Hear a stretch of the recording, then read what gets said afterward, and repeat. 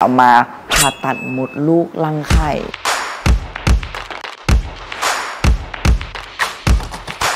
ลาก่อนมาลูกจ๋าฉันไม่ต้องใช้เธอแล้วจ้ะหลังจากที่วิวไปหาข้อมูลมาเอง แล้วก็จากความรู้จากพี่ๆอีกสองคนนะครับวิวก็ได้มา 2 วิธีในการผ่าตัดมดลูกรังไข่ก็จะมีแบบเปิดแผลธรรมดา ผ่าตัดแบบสองกล้อง แต่วิวก็ยังไม่รู้ว่าสองกล้องนี่เป็นยังไงก็เลยจำเป็นที่จะต้อง พบกับคุณหมอบุญชัยให้คุณหมอบุญชัยแนะนำครับ การผ่าตัดในปัจจุบันเนี่ยจะมีอยู่ 3 แบบนะครับ แบบแรกเราเรียกว่าการผ่าตัดแบบเปิดหน้าท้อง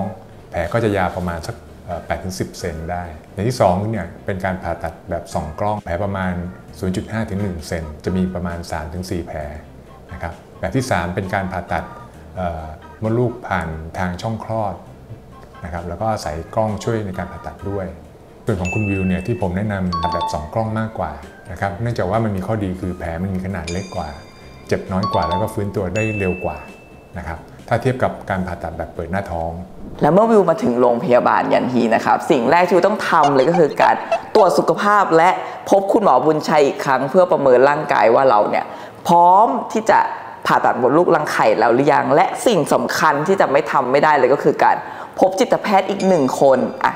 ทุกคนอาจจะสงสัยว่าทำไมพบแค่หนึ่งคน เพราะตอนที่วิวตัดหน้าอกเนี่ยวิวพบไปแล้ว 2 คนครั้งนี้วิวพบแค่อีกหนึ่งคนวิวก็สามารถทำการตัดมดลูกรังไข่ได้แล้ว แล้วหลังจากที่ได้ทำขั้นตอนแรกเสร็จแล้วนะครับ ก็จะมีพี่พยาบาลที่น่ารักพาเราขึ้นไปบนห้องแอดมิดแล้วทุกคนสิ่งที่วิวเปิดประตูเข้าไปเจอก็คือ ทัศนียภาพห้องที่ดีมากๆ และหลังจากที่เราได้ชื่นชมห้องที่เราจะต้องพักผ่อนอยู่ตรงนี้อีก 2 วันแล้วนะครับพยาบาลก็จะเอาชุดมาให้เปลี่ยนเพื่อเตรียมตัวเข้าห้องผ่าตัด และหลังจากที่ผ่าตัดเสร็จแล้วออกมาจากห้องผ่าตัดเรียบร้อยแล้ววิวรู้สึกว่า 1 เลย ไม่เจ็บ 2 แผลเล็กมากจนเกือบจะไม่เห็นเลยว่ามันเป็นแผล แล้วก็ตื่นขึ้นมาปุ๊บมีคุณหมอเข้ามา ให้คำแนะนำและชี้แจงสิ่งที่คุณหมอได้ทำไปกับเราในห้องผ่าตัด ผลการผ่าตัดของคุณวิว ถือว่าปกติดีนะครับหลังผ่าตัดไม่มีภาวะแทรกซ้อนอะไรเลยนะครับอาจจะมีการเจ็บแผลบ้างเล็กน้อยจากการผ่าตัด ผมแนะนำ หลีกเลี่ยงการยกของหนักเกิน 5 โลสัก 2 เดือนนะครับงดเพศสัมพันธ์ประมาณ 2 เดือน งดออกกำลังกายหนัก เช่น วิ่ง ปั่นจักรยานหรือเข้าฟิตเนส 2 เดือน และหลังจากการผ่าตัดมดลูกรังไข่ไปแล้ว สิ่งที่เราจะต้องทำใน step ต่อไปก็คือ เราจะต้องเข้าไปพบกับคุณหมออำนาจนะครับที่ดูแลเรื่อง ฮอร์โมน take ฮอร์โมนชายให้เรา เพื่อที่จะดูว่าหลังจากที่เราเนี่ยไม่มีมดลูกแล้วในร่างกายเนี่ยร่างกายเราจะปรับสภาพไปในทางไหน หรือเราจะต้องเพิ่มหรือว่าลดค่าฮอร์โมนหรือว่าระดับฮอร์โมนที่จะต้องฉีดเข้าไปเนี่ยจะต้องให้คุณหมออำนาจช่วยดูแลต่ออในกรณีที่เป็น transgender จากหญิงเป็นชาย เรามีการใช้ฮอร์โมนเพศชายต่อเนื่องมาแล้ว หลังจากที่คุณผ่าตัดมดลูกและรังไข่ออก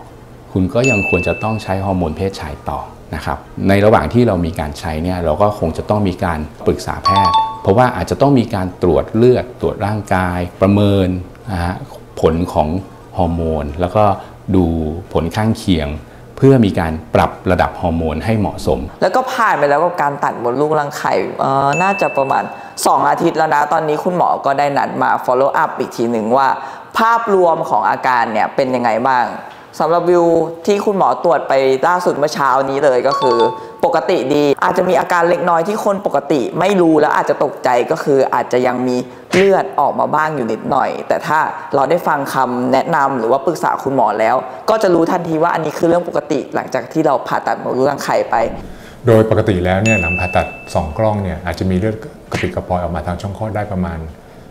ช่วง 2 สัปดาห์แรก นะครับซึ่งถือว่าเป็นภาวะปกติที่อาจจะเกิดขึ้นได้ แล้วความรู้สึกหลังจากที่ได้เอามดลูกรังไข่ออกไปแล้วนะทุกคนต้องบอกเลยว่ามันเป็นความสบายใจที่เราไม่ต้องมานั่งระแวงว่า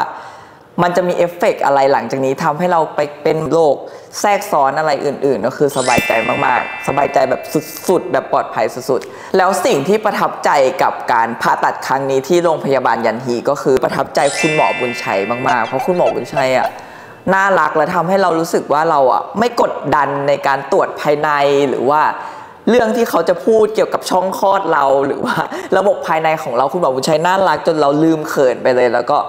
พี่ๆพยาบาลที่แผนกก็คือดูแลดีมาก และสำหรับทอมหรือว่าทานที่สนใจที่จะตัดมดลูกรังไข่นะทุกคนวิวแนะนำให้เรามาคุยกับหมอ เพราะว่าหมอคือคนที่รู้ดีที่สุด ถ้าเราไปหาข้อมูลเองเนี่ยเราไม่รู้ว่าสิ่งที่เราหามาเนี่ยมันจะถูกต้องหรือไม่ถูกต้อง ทุกคนเดินเข้ามาที่โรงพยาบาลยันฮีได้เลย คุณหมอที่นี่น่ารักทุกคนสเต็ปต่อไปถ้าวิวคิดที่จะทำก็คงต้องเลือกที่โรงพยาบาลยันฮีแน่นอน